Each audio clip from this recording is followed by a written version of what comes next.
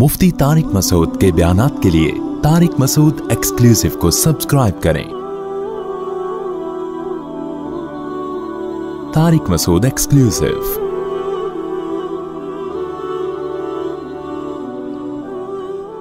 हम अनजल्लाम सुल्तान अल्लाह फरमाते हैं, बताओ, हमने क्या इन पर कोई वाज दलील नाजिल की आसमान से?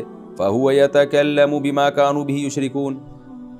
तो वो दलील इनसे बात करती हो उन मबूदों के बारे में जिनको ये अल्लाह के साथ शरीक करते हैं। आसमान से कोई दलील उतर के इनको समझा रही हो कि अल्लाह ने इनको इख्तियार दिए हैं। आगे अल्लाह दोबारा फरमाते हैं वहीदा अदक़नास और रहमतन दोबारा अल्लाह ताला शिकायत करते हैं। जब हम इंसान को कोई रहमत का मज़ा चिखाते हैं, फ़रीहू बिहा तो वह इतराने लगता है। देखिए, फ़रहत अच्छे माने में भी ये लफ्ज़ इस्तेमाल होता है, कुरान में भी, अरबी में भी और बुरे माने में भी। फ़रहत का एक मतलब तो खुश होना, वो ठीक है। जैसे कुरान में, सूरह रूम के ही शुरू में आपने देखा कि यफ़राहुलमिनून अल्लाह कहते हैं, जब रूमी गालिब आएँगे तो यफ़राहुलमिनून मोमिन उस दिन खुश होंगे। लेकिन फ़रीहा यफ़राहू का एक माना होता है, इतराना। बेमौका खुशी जिसे कहते हैं। या बेमौका खुशी सही ताबीर नहीं होगी, बल्कि बजाय तवाज़ो होने के ना, इतराना का लफ्ज़ उर्दू में बिल्कुल वाज इसकी इसको एक्सप्लेन करता है। यानी तकबर करना। और शेखियाँ भिगारना भगारना शुरू कर देना। उसको अल्लाह की रहमत ना समझना। तो इस माने में भी इस्तेमाल होता है। अब ये सियाको सबाक से पता चलता है। तो यहाँ चूँकि एक बुराई के तौर पर बयान हो रहा है ना, आगे यानी शिकायत के तौर पर बयान हो रहा है। लिहाजा यहाँ मतलब होगा इतराना। वईदा मसल इन दक़नास और रहमतन। जब हम लोगों को रहमत का मज़ा चकाते हैं फ़री हो बिहा तो उसको खुश हो जाते हैं, इतराने लगते हैं। व इन तसिब हम सही अतुम बिमा कदमत ईदीम और जब इनकी बदमालियों की वजह से इनसे, इनको कोई मुसीबत पहुँचती है इदाहम यकनतून तो ये मायूस हो जाते हैं। तो ये मायूसी के मुकाबले में फ़रहत का लफ्ज़ आ रहा है ना, लिहाजा ये इतराने के माना में होगा, क्योंकि मायूसी भी बुरी चीज़ है। लिहाजा इससे पहले जो फ़रहत का तस्करा किया, वो भी, वो वाली फ़रहत है जो बुरी है, और वो कौन सी फ़रहत बुरी होती है? इतराने वाली फ़रहत जो है, वो बुरी होती है। तो ये भी अल्लाह ताला इंसान को शिकायत कर रहे हैं कि उसका अल्लाह पर अतमाद और तवक्ल नहीं है। अगर तोहहीद परस होता, अल्लाह पर कामिल अतमाद होता तो जब इसे खुशी पहुँचती तो इतराता नहीं, बल्कि अल्लाह का शुक्र अदा करता।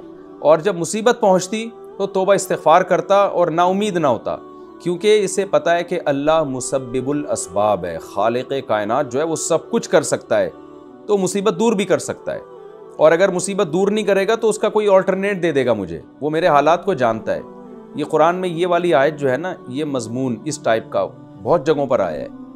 कि जो तोहहीद परस नहीं है, जिसका अल्लाह पर अतमाद और तवक्ल नहीं है, खुशी में अपनी औकात भूलता है, वो इतराता है और गम में मायूस होता है। अल्लाह ने अहल जन्नत की अलामत के तौर पर यह बयान किया है कि अहल जन्नत की अलामत ये कि गम में मायूस नहीं होते, खुशी में इतराते नहीं हैं। आज देख लो आप दुनिया परस्तों का हाल देख लो ना। थोड़ा सा पैसा आ गया तो अपनी औकात भूल जाते हैं, पागल हो जाते हैं, बेवकूफ़ों वाली बातें शुरू कर देते हैं। और ऐसा सीना कड़ा के चलते हैं जैसे पता नहीं पहली दफ़ा इन्हीं के पास दुनिया में पैसा आया और जो है वो कमतर लोगों को हकीर समझना शुरू कर देते हैं। तो जबकि तोहहीद परस, जो अल्लाह पर ईमान लगता है, मुलहिद नहीं है, वो क्या कहता है, भाई, मेरा कमाल थोड़ी है, ये तो अल्लाह ने दिया है। मेहनत तो बीसियों लोग करते हैं, हर एक को थोड़ी मिलता है। ये बहुत अहम आयत है, इसको, ये डिप्रेशन का भी इलाज है, और ये आपको तकबर से भी बचाने का इलाज है। तो क्योंकि दो ही हालतें होती हैं इंसान की, या तो खुशी में होगा या गम में होगा, या चाहतें पूरी हो रही हैं या नहीं पूरी हो रही। तो अल्लाह ने कितना ज़बरदस्त गाइड किया हमें कि जब पूरी हो रही है चाहते हैं तो इतराओ नहीं भाई, शुक्र अदा करो अल्लाह का। खुश हो ज़रूर, लेकिन बोलो अल्लाह की देन है भाई, मेरा कमाल नहीं, मैं भिकारी हूँ, अल्लाह ने मुझे दी। और जब टेंशन हो तो भाई टेंशन अल्लाह ने दी है ना तो जिसने दी है वो दूर भी कर सकता है तो मायूस ना हो तुम। तो ये कुरान में ये मजमून बहुत जगहों पर बयान किया गया है। और पूरी सूरह यूसुफ ही ये ये मजमून समझाने के लिए नाजिल हुई है कि याकूब अलैहिस्सलाम की पूरी ज़िंदगी टेंशनों में गुजरी, कैसी उम्मीदों को लेकर सारी ज़िंदगी जीते रहे हैं वो। आगे अल्लाह ताला फरमाते हैं इन नफ़ीदातिल हाँ। अवलम यकदिर। क्या ये लोग देखते नहीं हैं जिसके लिए अल्लाह चाहता है रोज़ी बढ़ा देता है, जिसके लिए चाहता है तंग कर देता है? ये भी पिछली आयत की तकमील है, क्योंकि आम तौर पे खुशी जब इंसान को होती है ना, पैसा आने की होती है और गम होता है पैसा जाने का। तो अल्लाह ताला इंसान की फितरत से वाकिफ़ है ना? कि इनके यहाँ खुशी का असल मैार यही है कि दौलतमंद हो तो खुश है, दौलत नहीं है तो गरीब है। इसका अल्लाह ने जवाब दिया कि तेरे पास पैसा आता है, खुशी होती है तो इतराने लगता है। गरीबों की तोहन शुरू कर देता है और अपना कमाल समझता है। और जब तेरे पास पैसा नहीं आता तो तू मायूस हो जाता है। तो अल्लाह ने फरमाया, अवलम यरो, क्या ये इंसान देखता नहीं है? अनबसतरिज़्क़मन यशाक़दिर अल्लाह चाहता है जिसके लिए रोज़ी बढ़ा देता है, जिसके लिए चाहता है कम कर देता है। कैसी ज़बरदस्त दलील है आजकल के उन स्कॉलर्स उन मोटिवेशनल स्पीकर हैं या जो भी स्कॉलर्स हैं, या जो भी टिकटॉकर हैं, या यूट्यूबर हैं, या जो भी, जो लोग भी दौलत को अपना कमाल बताते हैं कि मैंने मेहनत की और मुझे मिला। तुम मेहनत नहीं करते, लिहाजा तुम्हें नहीं मिल रहा, इसकी अलामत है, तुम मेहनत नहीं कर रहे। ये बिल्कुल गलत नज़रिया है, इस्लाम इसके बिल्कुल अगेंस्ट है। अल्लाह कहते हैं क्या देखते नहीं हो, अंधे नहीं हो, कि अल्लाह जिसके लिए चाहता है रोज़ी बढ़ाता है, जिसके लिए चाहता है तंग कर देता है। क्या मतलब इस आयत का? कितने लोग हैं, इन्होंने बेहतरीन तरीके से दौलत कमाने की कोशिश की है। तमाम जदीद इसबाब और वसाइल इख्तियार की है, मगर धेला भी नहीं आया उनके पास। और कितने तुम्हें सोसाइटी में ऐसे नज़र आएँगे जो दौलत से भागते रहे हैं, मगर आज करोड़पति, अरबपति बने हुए हैं वो। हमें तो वो नज़र आते हैं, मेहनत की और मिल गया। मेहनत नहीं की और नहीं मिला। ऐसे भी बहुत से लोग हैं जिन्होंने की नहीं मिला और बहुत की, फिर भी कुछ नहीं मिला। तो अल्लाह कहते हैं, इससे साफ़ पता चलता है कि ठीक है, तुमने मेहनत करनी है, लेकिन दौलत की कुंजियाँ वो मेरे हाथ में है, तुम्हारे हाथ में नहीं है। तो जब वो मेरे हाथ में है तो मिलने पर इतराओ मत और ना मिलने पर मायूस मत हो। जो काम जिसका कंट्रोल मेरे पास है तो उसमें तुम क्यों टेंशन ले रहे हो? यानी एक वाजे सी बात है ना कि जो चीज़ आपके आपके बस में ही नहीं है तो उस पर ये, यानी मैं यहाँ बैठ के सोचता रहूँ कि फ़लाँ जो है ना, फ़लाँ आदमी ये काम क्यों नहीं कर रहा? तो लोग मुझे आके क्या कहेंगे क्या कहेंगे, भाई वो फ़लाँ आपका क्या लगता है? मैं कहूँगा, मेरा कुछ नहीं लगता, ना वो मेरी सुनता है। तो लोग कहेंगे, जब आपका उससे कोई लेना देना नहीं है तो उसके अमल पे आपको क्या तकलीफ़ हो रही है? वो, उसका हेडेक है, आपका हेडेक थोड़ी है। तो ये बात भी अल्लाह ताला हमें समझा रहे हैं कि देखो रिस्क तुम्हें मिलेगा या नहीं मिलेगा, ये मेरे, मेरी सोच पे होगा, ये तुम्हारी चाहतों पे नहीं होगा, ना तुम्हारी मेहनत पे होगा। तो जब ये मेरा काम है तो फिर ना मिलने पर मायूसी की तरफ़ जाना और मिलने पर इतनाने की तरफ़ जाना, ये बहुत बड़ी बेवकूफ़ी है, ये ग्राउंड रियलिटी के ख़िलाफ़ है। अवलम यरऊ का मतलब ये कि तो ये ग्राउंड रियलिटी है, देखो अपनी आँखों से जाके तुम। आगे अल्लाह ताला फरमाते हैं इन नफ़ीदायातिलकौमीमिन बेशक इसमें बड़ी बड़ी निशानियाँ उन लोगों के लिए जो ईमान लाना चाहते हैं, जो ईमान लाते हैं। चाहते नहीं, यहाँ तर्जमा होगा, ईमान लाने वाले लोग हैं। जो अल्लाह पर ईमान लाते हैं, उनको ये बातें समझ में आती हैं कि वाकई अल्लाह जिसके लिए चाह रहा है, रोज़ी बढ़ा रहा है, जिसके लिए चाह रहा है, कम कर रहा है, जो खुदा के मुनकर हैं, उनको ये बातें समझ में नहीं आती। फ़ातिलक़ुरबा हक़मस्किन वबन सबील। क्या बेहतरीन अल्लाह ताला का अंदाज़ है इंसान को मोटिवेट करने का। अल्लाह फरमाते हैं, पस तो खराबत दारों को उनका हक़ दे दिया कर। हक़ से मुराद माली हक़। क्योंकि इंसान कहता है कि जब मैंने अपनी मेहनत से पैसा कमाया और जमा किया तो मेहनत से कमाने, मेहनत से कमाया जाता है और जब रोकूँगा तो बढ़ेगा। लिहाजा मैं अगर ख़र्च करूँगा, रिश्तेदारों को दूँगा, फ़लाँ को दूँगा, सदका करूँगा, खैरात करूँगा तो माल कम हो जाएगा। इसलिए अल्लाह ने इंसान की सोच को बदला कि जब तुम्हें मैंने बता दिया कि माल की कुंजियाँ मेरे पास हैं। लिहाजा अगर तुम्हें मिल गया है तो ये अल्लाह की देन है। लिहाजा अब तुमने क्या करना है? आती दल क़ुरबा हक़ हो रिश्तेदारों को उनका हक़ देना है, उन पर ख़र्च करना है। वजह क्या है कि दुनिया परस कहेगा, खर्च करने से कम होगा, लेकिन जब तुम्हें यकीन है कि अल्लाह है रिज देने वाला तो वो खर्च करने से कम क्यों करेगा? देखिए, एक शख्स है, एक बड़ा सेठ है, आपको वो क्या कर रहा है कि वो वो जब चाहता है आपको पैसा दे देता है, जब नहीं चाहता तो नहीं देता। आपको पता है पैसा यहाँ से मिलेगा मुझे। तो आपने, उसने एक दिन आपको पैसा दिया, आपने उसकी मर्ज़ी के ख़िलाफ़ इस्तेमाल करना शुरू कर दिया। और आपने कहा कि जब मैं मर्ज़ी के ख़िलाफ़ इस्तेमाल करूँगा तो ज़्यादा मिलेगा मुझे तो कितनी बड़ी बेवकूफ़ी है। अक्लमंद क्या करेगा यार? असल में तो यहाँ से पैसा निकलेगा ना तो इसी के रिश्तेदारों को खिलाना शुरू कर दो। और इस ये देखो, ये किस चीज़ से खुश होता है? किन पे खर्च करने से खुश होता है? जिन पे खर्च करने से खुश होता है, उनको दूँगा तो ये और मुझे देगा। अक्लमंद ये करेगा। तो जब अहल ईमान को यकीन हो गया कि रिज़ देने वाला अल्लाह है तो अहल ईमान क्या करते हैं? वो कहते हैं, अल्लाह ने जहाँ खर्च करने का कहा है ना, वहाँ करो, इससे अल्लाह खुश होकर और देगा। ये ये अकीदा और ये फ़लसफ़ा उनकी समझ में आ जाता है। और जो एथियस्ट हैं, मुलहद हैं, मुशरक हैं, उनकी खोपड़ी में ये बातें नहीं आती, लिहाजा वो दौलत पे सांप बन के बैठ जाते हैं। इसलिए अल्लाह ने फरमाया कि जब तुम्हें मालूम है कि अल्लाह जिसके लिए चाहता है रोज़ी बढ़ाता है तो तुमने क्या करना है? रिस्क को रोकना नहीं है। आती दल क़ुरबा हक़ हो रिश्तेदारों को उनका हक़ देना है। बीवी पे, बच्चों पे माँ बाप पे, अपने भाई बहनों पे और चचा मामू, फुफा, खाला, ये सारे जो गरीबी रिश्तेदार हैं, उन पर खर्च करना है तुमने। वल और इसके अलावा भी सोसाइटी में जो गरीब लोग हैं, उनको भी उनका हक देना है। यहाँ भी देखें, अल्लाह ने कैसी ज़बरदस्त बात की। कि तुम जो उनको दे रहे हो गोया अपने माल में से नहीं दे रहे, बल्कि उनका उनका जो हक है ना वो दे रहे हो तुम। यानी उनका राइट है। अगर सोसाइटी में ज़रूरतमंद लोग हैं तो उनका हक है कि तुम उनको दो। तुम गोया तुम उन पर एहसान नहीं कर रहे, इसलिए कि ये माल तुम्हें अल्लाह ने दिया है। तो फिर अल्लाह ने तुम्हारे ज़िम्मे लगा दिया कि फ़ला फ़ला को भी देना है। ऐसा ही है जैसे किसी को आपने देख पकड़ाई और कहा कि इसमें से खुद भी खा लेना और महल्ले के गरीबों में भी बांट देना। तो इसलिए मैंने तुम्हें ये देख देख दी है आपने क्या किया? उस देख को छुपा के रख लिया और कहा कि चूँकि मेरी मिल्कियत में आ गई है तो मैं अब सारा खा लूँ। तो ये बेवकूफ़ी है भाई, जिसने दी है, उसने सिर्फ़ आपके लिए दी नहीं है। उसने तो कहा है कि खुद भी खाओ और लोगों में भी बांटो इसको जाके।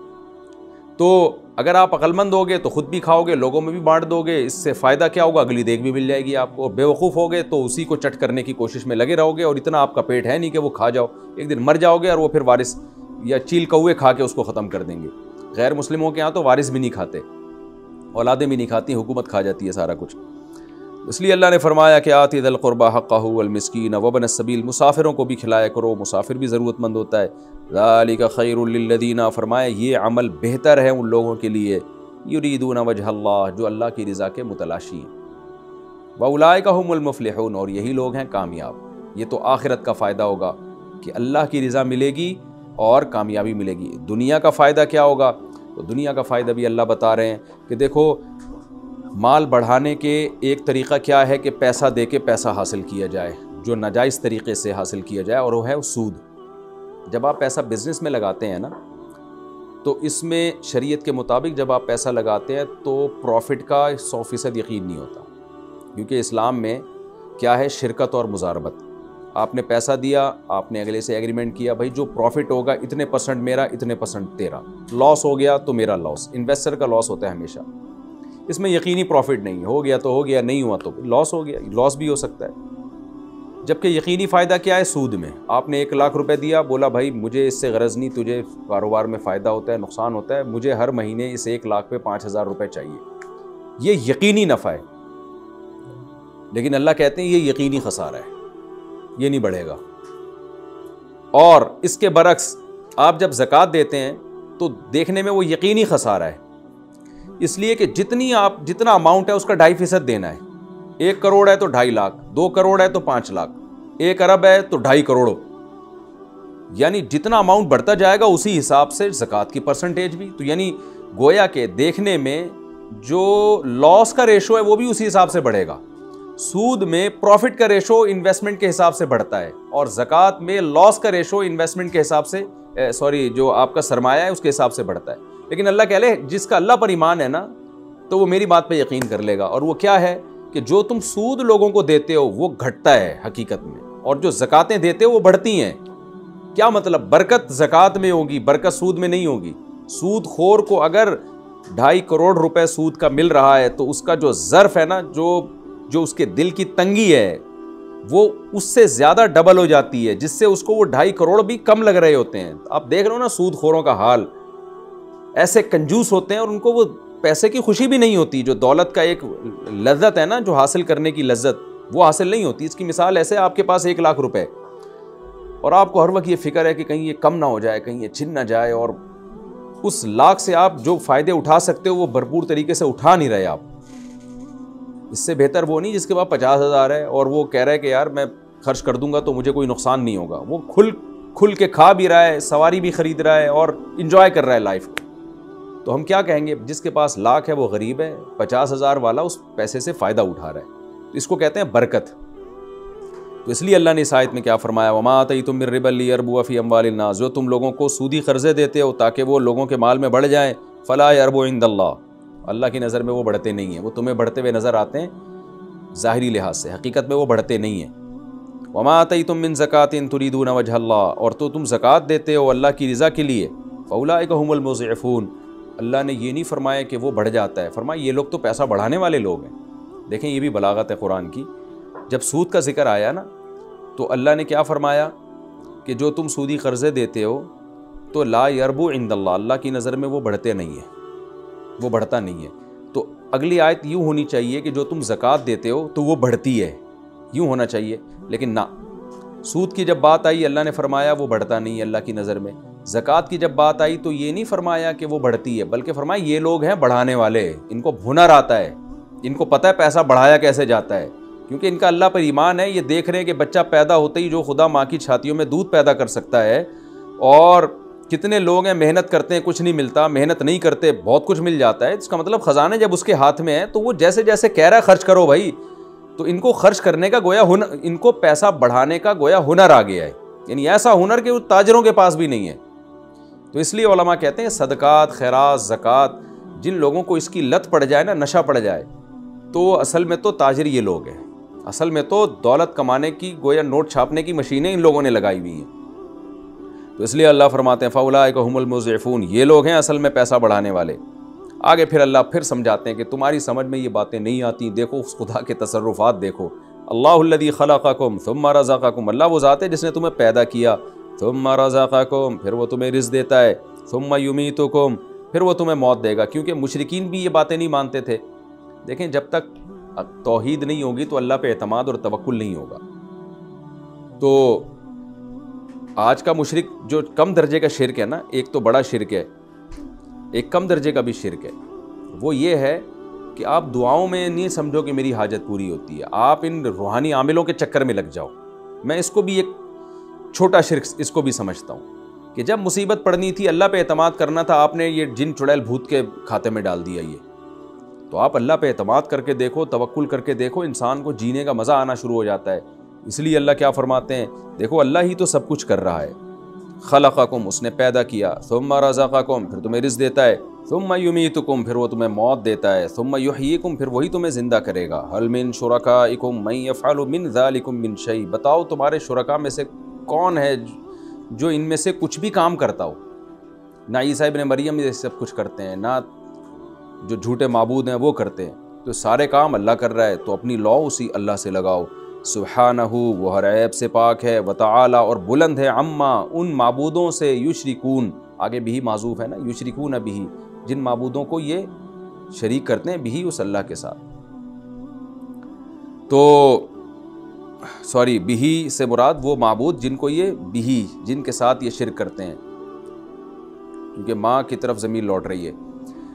खैर, ये अल्हम्दुलिल्लाह हमारा रुकू कंप्लीट हो गया। इसमें भी अल्लाह ताला ने तोहहीद बयान की और इंसान से शिकायत की है कि जब मुसीबत में पड़ता है तो अल्लाह को पुकारता है। आज भी आप देख लेना कि जो गुनाहगार लोग भी हैं, जिनको सारी ज़िंदगी अल्लाह का नाम याद नहीं होता, जब मुसीबत आती है तो वो भी अल्लाह अल्लाह कर रहे होते हैं और जब मुसीबत दूर होती है तो फिर अल्लाह को छोड़ देते हैं इसमें हमें अल्लाह ने सदक़ खैरात की भी तरगीब दी कि माल जब अल्लाह के हाथ में है तो भाई आती दिलक़ुरबा हक़ रिश्तेदारों को, मस्किनों को, मुसाफिरों को उनका हक़ दिया करो।